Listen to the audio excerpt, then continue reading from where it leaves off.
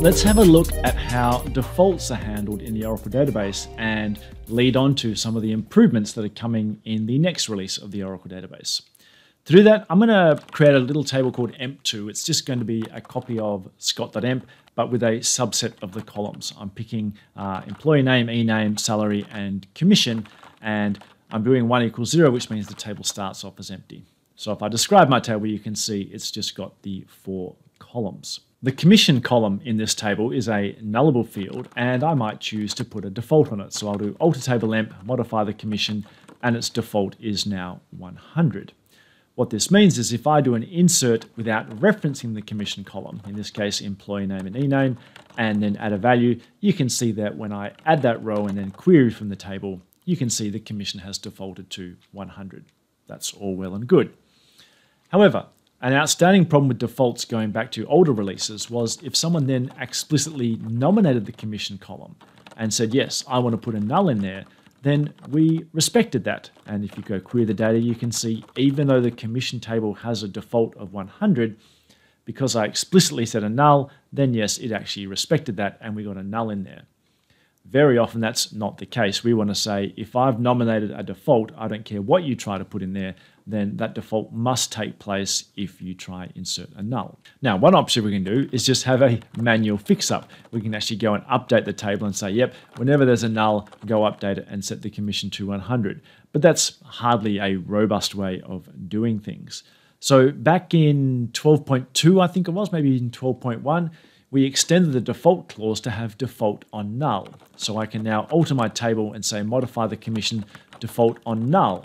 I've changed it now to 200 so we can see any differences, but it's not just default 200, it's default on null 200. Now, when I insert a brand new row, this time for an employee called Sue, even though I've explicitly said I want a null in the commission, because I have the default on null clause now set to 200, when I go query my data, you can see that row for Sue has had the 200 forced in, even though uh, we tried to put a null in there. So it gives, makes the implementation a little bit more robust. The default on null has in effect implicitly made that commission column not nullable anymore because any kind of attempt to put a null in there means it will actually be overridden with 200 when you do an insert. The problem there is if you try to do an update and explicitly try set commission to null, yes, we don't want that to happen, but you'll get an error. It actually says, yep, you cannot set that commission to null anymore because there's that default on null clause. It seems a bit sort of a contradiction though, that with an insert, if you try force a null, we'll default it. With an update, if you try force a null, we'll give you an error. You're probably thinking, well, duh, just don't write your programs to try write a null in there. You know, don't do that.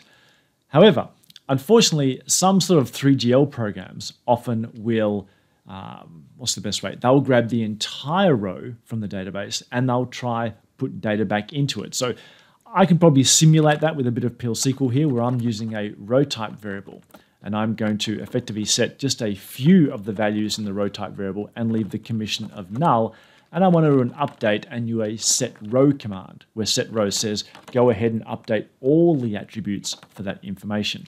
When I try to do it, as you would expect, I'm going to get an error as well because even though I didn't really set the commission explicitly, the set row command has effectively tried to line up all the column values with my temp variable there, and what's the result? Commission was null, and so I get an error. In those kind of scenarios, what I might want to allow is that the null condition I had before, the default on null of 200, should also apply to updates. And in 23C, we've included that functionality. Now I can alter my table emp2 and say, yep, commission is null, it's default on null, but I can nominate now for insert or update or both. And I have this now flexibility. So now default on null will apply even to an update command. If I go ahead and try to an update and set the commission to null, whereas before I was getting an error, now what will happen is I get a successful row update. If I go query that, you can see that I've actually gone and picked up the information and I haven't received any errors. So that's a nice way of removing errors from your code and having a nice consistency between insert default on null and update default on null, which is coming in 23C.